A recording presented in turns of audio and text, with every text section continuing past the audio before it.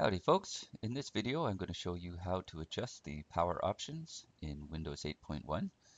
We're on the start screen here so you want to go to your desktop and then travel over to the lower right hand corner of your desktop and travel up the charm bar here until you can click on settings and then go to control panel okay now in the upper right hand corner of your all control panel items window here you have view by. So just select small icons next to view by and you'll have this kind of a view here. And we want to click on power options here in the middle.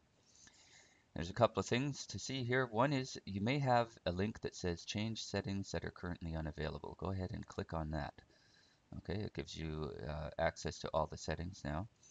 And you may also have show additional plans. So you can click the little arrow to the right of that and see if uh, which one of these three plans or however many you have set up on your system is the one that you want to select and modify.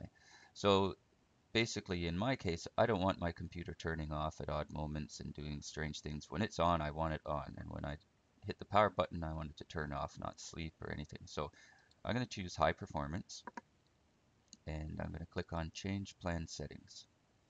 Okay, now again here we may have to click on change settings that are currently unavailable, right? So turn off the display. If you don't like that turning off, you can choose never, or of course you can choose any other available time here. And uh, under high performance, probably it already says never for put the computer to sleep. But again, there are options, right? And what we want to do here as well is go into change advanced power settings, okay? And uh, under here, for example, you might want to uh, tell your hard drive not to turn off. Oh, again, sorry, at the top here, change currently unavailable, right? So uh, under the hard disk, if we go down to zero is never, right? The thing next to one there. So uh, that will take away the delay that you get when you walked away from your computer and you come back and then everything seems to be just waking up even though your computer hasn't gone to sleep. That can help right there. Um, other things, uh, again, are your sleep settings. We have uh, all our choices here. So I prefer them set to never, but of course you can set a number of minutes here. And um, another one that I often go into, power buttons and lid, okay? So um, this isn't a laptop, so uh, there's no lid setting, but uh, often enough, uh, if you just want to be able to shut the lid of your laptop so that you can move your computer without your computer going to sleep or hibernating, you can tell it to do nothing when you turn uh, your lid down.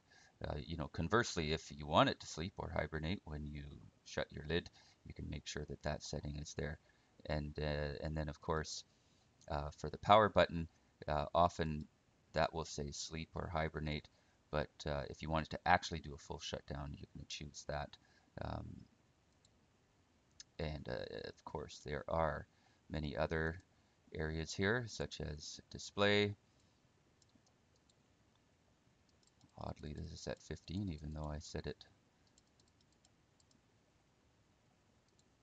up top. I suppose I should have hit apply or save changes.